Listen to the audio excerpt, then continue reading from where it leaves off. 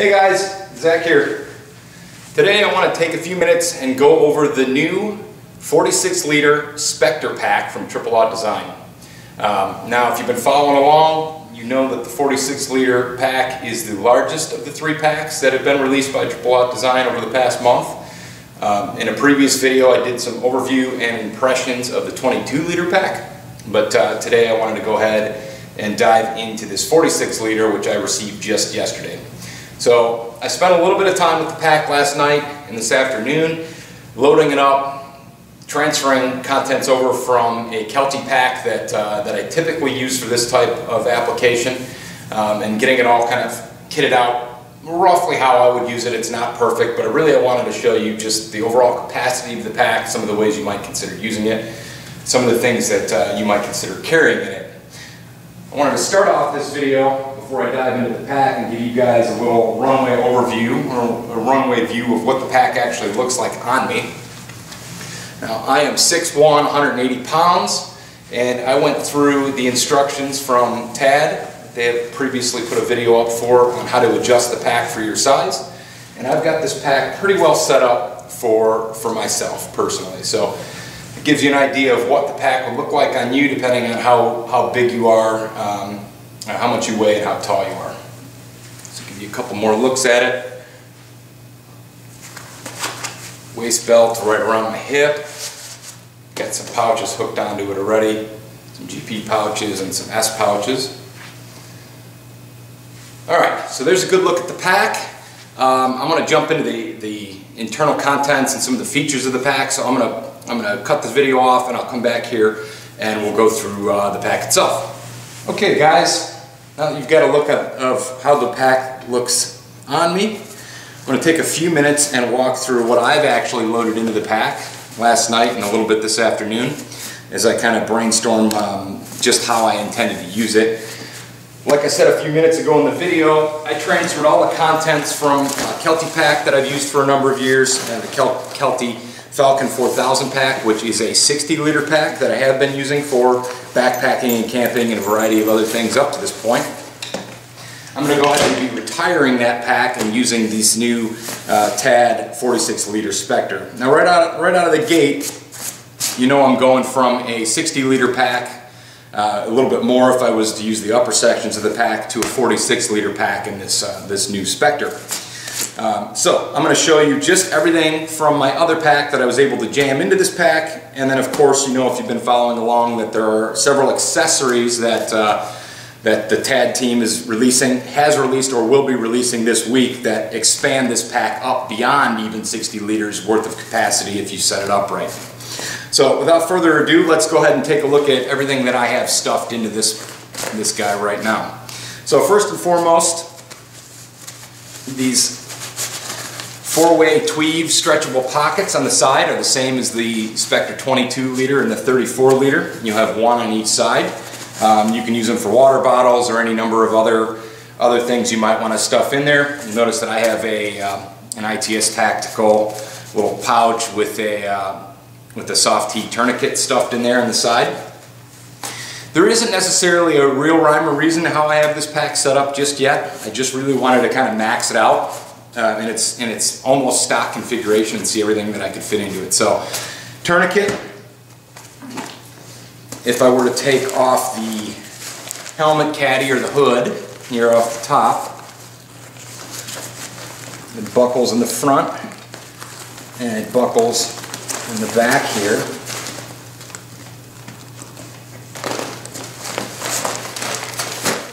Right off the top, it's got a straight zipper slot here at the top. It doesn't have any other further organization um, panels or anything like that inside. It's just kind of a giant dump sack.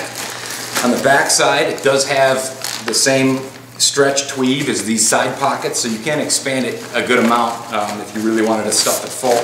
What I chose to use this for was I actually stuffed my Mountain House freeze-dried food in here. And I have uh, a few different ones. You can see them. Pull them out. I could have fit more, just want to kind of give you guys an idea of what you might consider using some of these, these uh, pockets for. So I've got three meals in there. I've got a, uh, a bit of paracord wrapped up on some cardboard here. And then I also have in mine uh, some Kind bars, some Quest bars, and some miscellaneous odds and ends, some miscellaneous other cordage, as well as some uh, some zip ties and stuff I kind of have stuffed in there in the top. Now I could have fit probably about five or six at least, maybe even more if I got really really clever with how I fit them in there of these Mountain House or similar freezer freezer dried packs in this top top compartment. Personally, that's probably how I would use it because these things are uh, packaged up and they are sealed. Um, not that uh, this LS42 material that these packs are made of is is completely waterproof, but it is very water resistant. And these zippers on all of these packs are these Euro style uh, water resistant zippers as well. So might be something you would consider using this top caddy or uh, top hood for would be to uh, stuff it full of your, your freeze-dried food, your snacks, and so on. So I'm going to go ahead and set that guy aside. I'm to go ahead and set aside my freeze-dried food and get into the guts of the pack here. Now, turn it over here so you can see a little bit better to the camera. The pack does have its own, own built-in compression strap that runs from the front and it also attaches in the back of the pack here. That is to be used for the occasion like I have here where you've expanded the pack up to its full capacity. Now I think I read somewhere that this pack starts at a base 46 liters. If you are to fill it all the way up, meaning you take advantage of all this real estate at the top, that it gets close to 60 liters worth of capacity. Don't quote me on that, that's kind of what, what I'm going off of, um, some of my impressions here on, on uses of this pack. So we go ahead and uncinch the top here, give you an idea of what all I have stuffed in. First off, I've got a uh, ITS Tactical Boo Boo Kit. So not the smallest med kit, but it's got all your band-aids and miscellaneous first aid material that you might need. I have a small Thermarest camping pillow.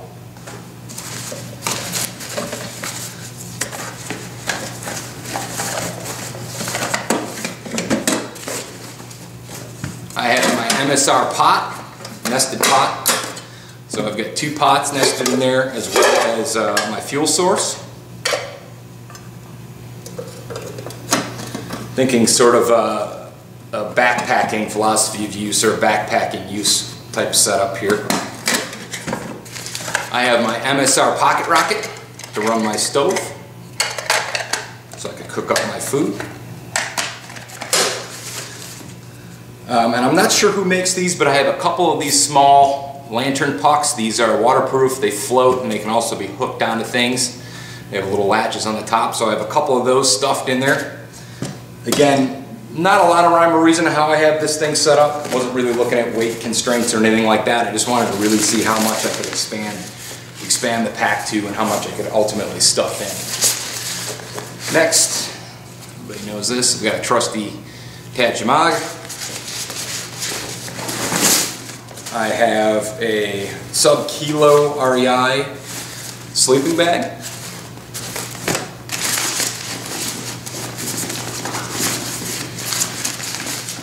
I have some extra socks and underwear, which you should pretty much always keep on you, at least underwear for sure.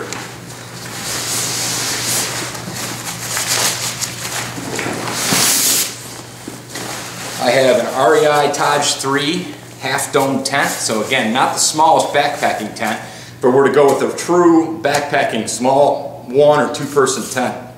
I'd be able to fit even more into this pack. So I'm gonna go ahead and set that guy aside. I have some miscellaneous extra clothes here. A couple t-shirts. Some AC shorts. Some AC pants.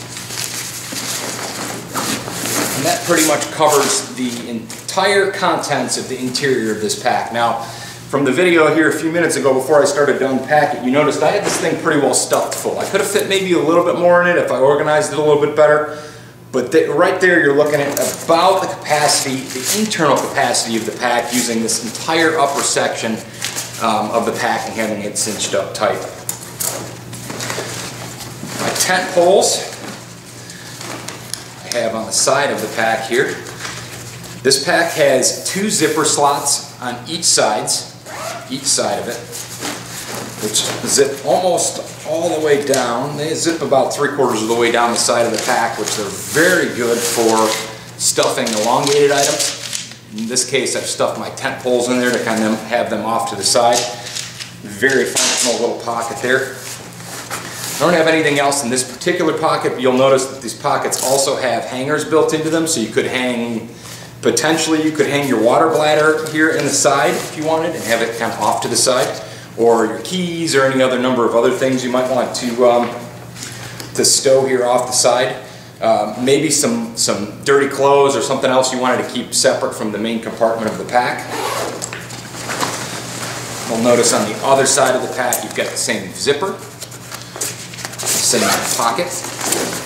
On this side, I've got some trusty Uno cards. You've got to have a little bit of fun while you're out, out and about. Up. I've got a LifeStraw.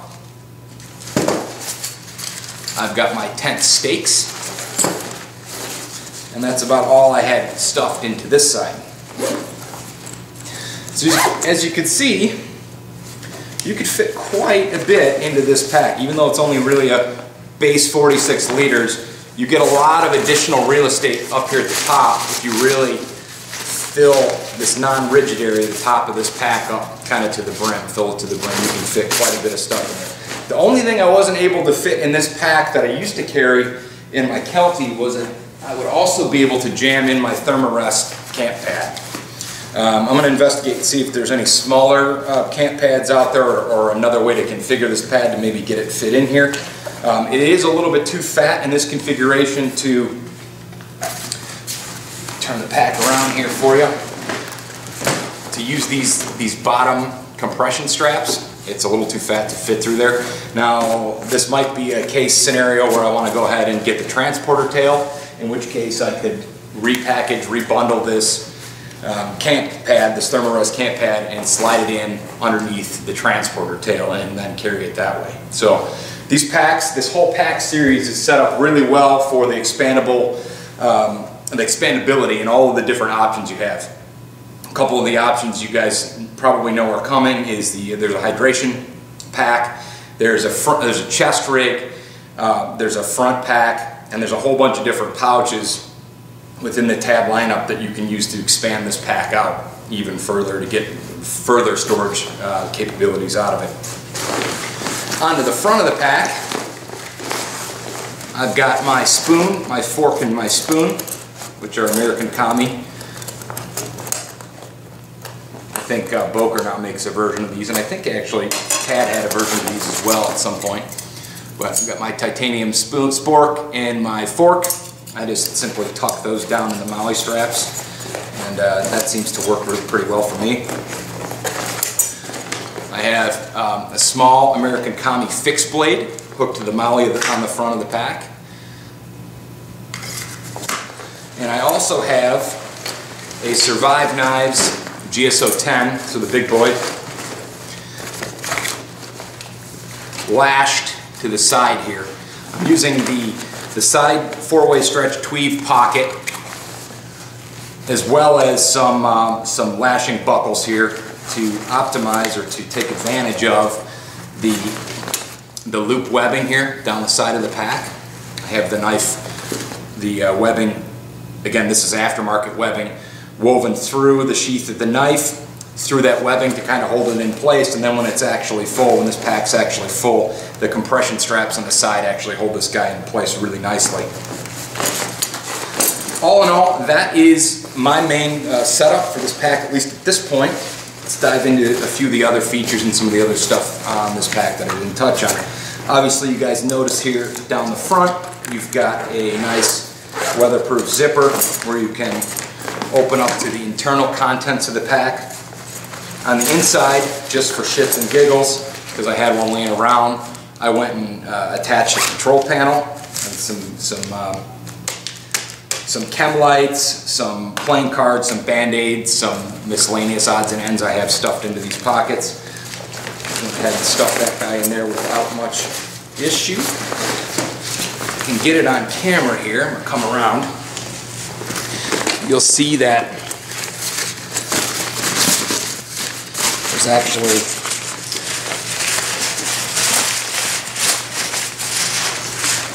there's actually the same kind of hangers that are in most of the TAD packs now here at the top of uh, the Spectre 46, Spectre 22, and so on. So you can hang your control panels, um, you can hang a water bladder here, of course you've got another hook.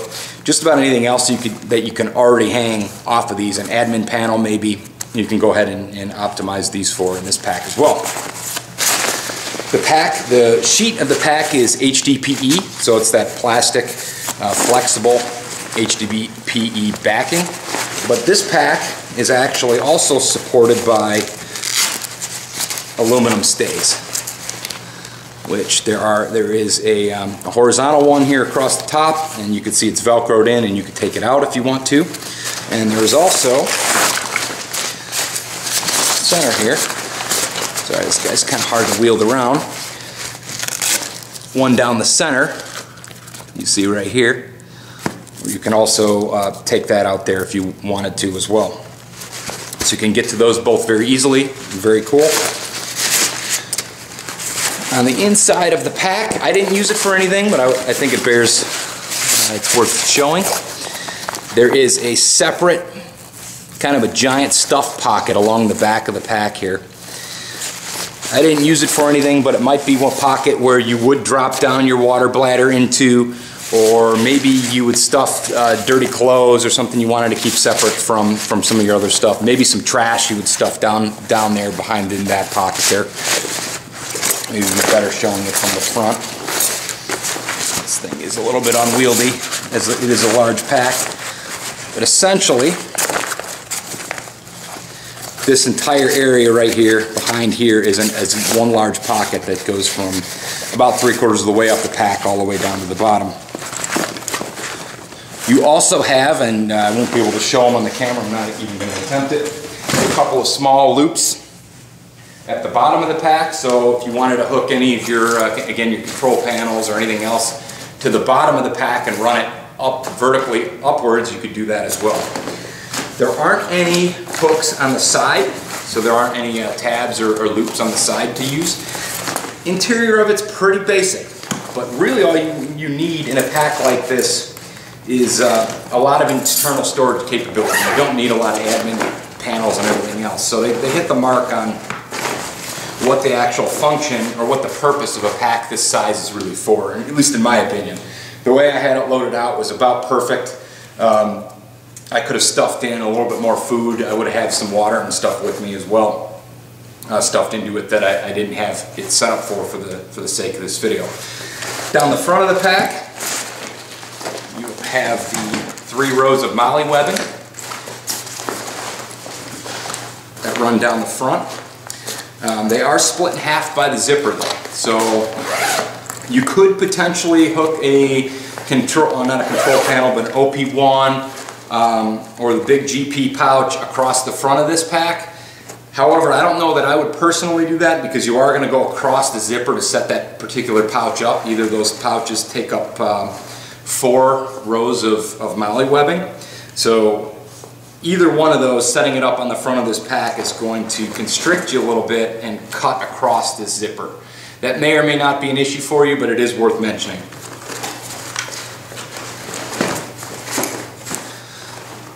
Each of these side stuff pockets, these four-way tweave stuff pockets, have a, uh, a, loop in the bottom here where you can attach a, an ice tool, potentially an axe if, it's, uh, if you don't have a sheath, um, hammer, other type of tools, you can use this loop and run them up vertically through the side pocket. Similar as the other two packs in the series. Onto the back of the pack, the back and the belt before I let you guys go here. If you follow along in the instructional videos for adjusting this pack, it's actually fairly easy. There is one, two, three, four, five or so rows of webbing that are all tightly woven here on the back of the pack that allow you to raise and lower the main shoulder straps and the main back pad. Now again, I'm about six foot one. I have mine all the way currently set on the top loop. So that gives you an idea, uh, maybe if you're trying to do a quick setup and you're about six foot one, you might want to go ahead and just arbitrarily set yours up to start at that height and then kind of go from there and see how it feels on you. The belt is fully removable. Um, if you watch the, adjust, the belt adjustment video, the, the lumbar support here peels off. There's a little bit of Velcro there. And the belt itself is also Velcroed into the bottom of the pack. Right here. I'm not gonna I'm not gonna take it off because I don't want to readjust mine. I want to leave it kind of right where I have it. I have it set up perfectly for myself. Uh, you get you do have a little bit of height adjustment here with the belt. You can kind of shimmy it up up and down a little bit if you want. Uh, the main thing with removing the belt is actually adjusting the width that you want it. So they've got a nice set of grid squares here where you can count I have mine two over from the end where I have my belt currently set up. So if you're big, a little bit bigger around, you can expand this belt and give yourself a little bit more wrap around your waist in the front without actually completely maxing out your adjustment webbing here in the front, okay?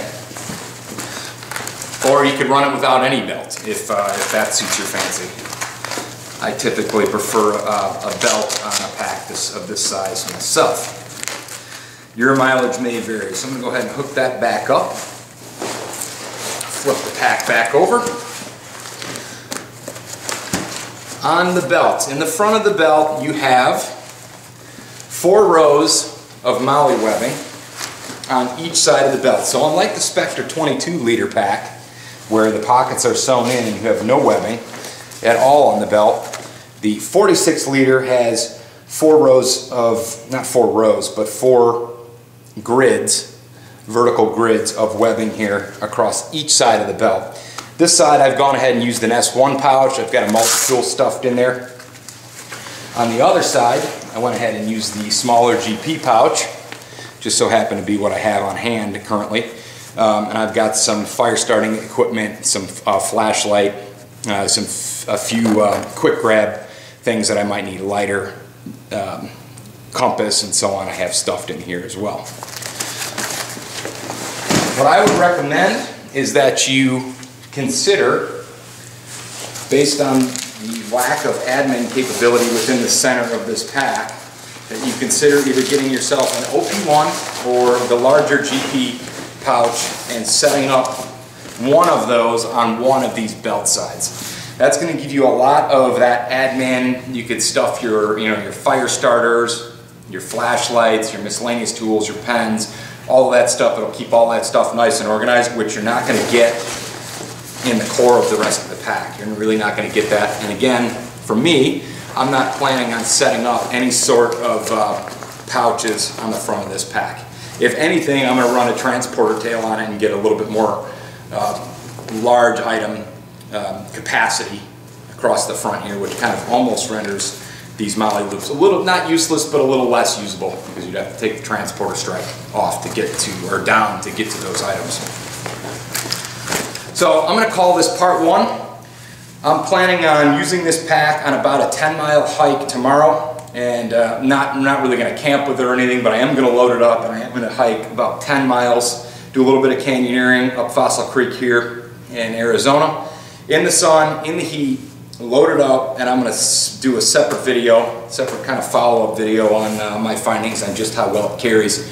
Um, anybody that's backpacked, uh, or anybody that's planning on backpacking, should know that if you're going to go any kind of distance, any kind of distance, you're going to want to test out your gear beforehand. You don't want to get into a, a 20 or 30 mile hike and find out your stuff's uncomfortable and it's not going to work for you. So I like to test my stuff out in, in a non-full use capacity. In this case, I'm just going to hike with it five miles in, five miles out, and, and get a good feel for the setup of the pack, how easy it is to access the pockets, how it feels, the overall, you know, the overall height and, and belts uh, settings, if those are working well for me. Um, and I would encourage uh, you to do the same on, on any, any pack, even if it's not a TAD pack, to go ahead and and try it out on a short excursion beforehand so you don't get yourself into trouble later.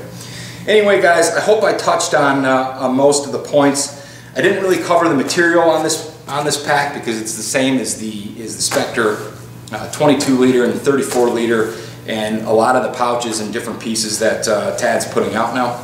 Um, but just to touch on it really quickly before I let you go, this uh, the gray material here in the front is the LS42 Dimension Polyant. Um, long life, uh, kind of a sailcloth. It's made up of this, uh, the pack is also made up of several areas of this four-way tweave stretch material and so on. So I, uh, I feel like this pack is going to last me a long time, but uh, time, time and use will be will tell the tale on, uh, on just how well it, it uh, works for me. I'm really excited to get some of the other components for it and really fully test out uh, a bunch of different setups with this pack. So this isn't a one size fits all pack. This is a one size fits all base pack that you can turn into any specific adventure you're setting yourself up for. Really, really excited about this line. Um, hopefully, this product line, hopefully I didn't get too rambly on you guys. Hopefully you got a little bit something out of this, this video. Uh, until next time, stay safe out there. Thanks for watching.